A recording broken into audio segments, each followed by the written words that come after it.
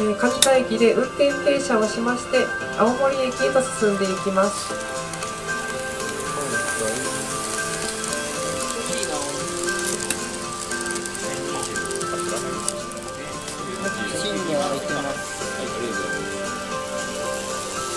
ご乗車ありがとうございました。青森に到着をいたします。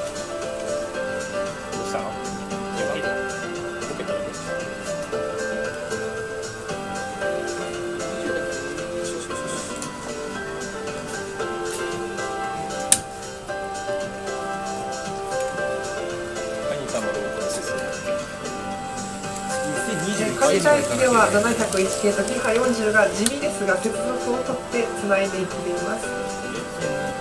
青森では ED79 の切り離しを行いまして、えー、反対方向に星のマークが入っています。4002が出る前に4番に33を入れたい。334連結されようとしています。うん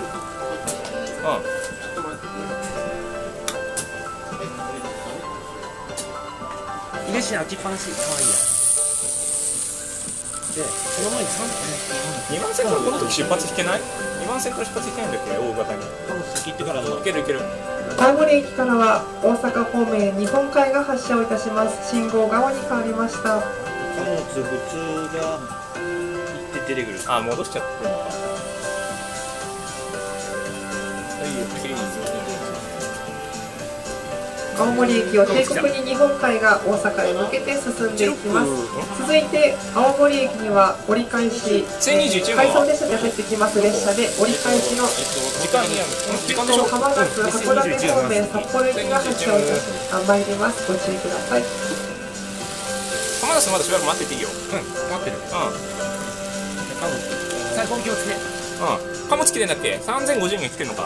3050人来てる。ごめんよ青森駅の列車の密度が非常に高いので乗役さんたちがまあまあ騒いでいますが一応帝国に走っていますのでご安心ください。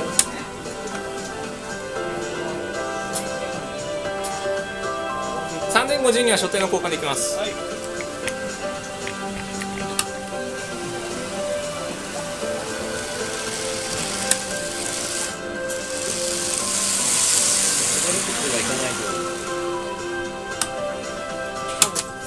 五稜郭に入りました。50系客車快速海峡号は青森まで行く最後の快速海峡です。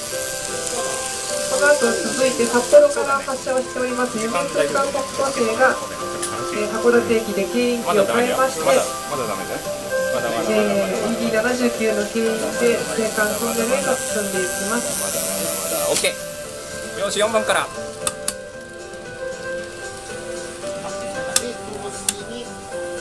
青森駅東京型の 1023M1 番をお願いします。江線の運転はすべて終了となります。浜ナスこのタイミングで入れる入れちゃおう。よし、このタイミングで入れよう。浜ナス入れちゃえ。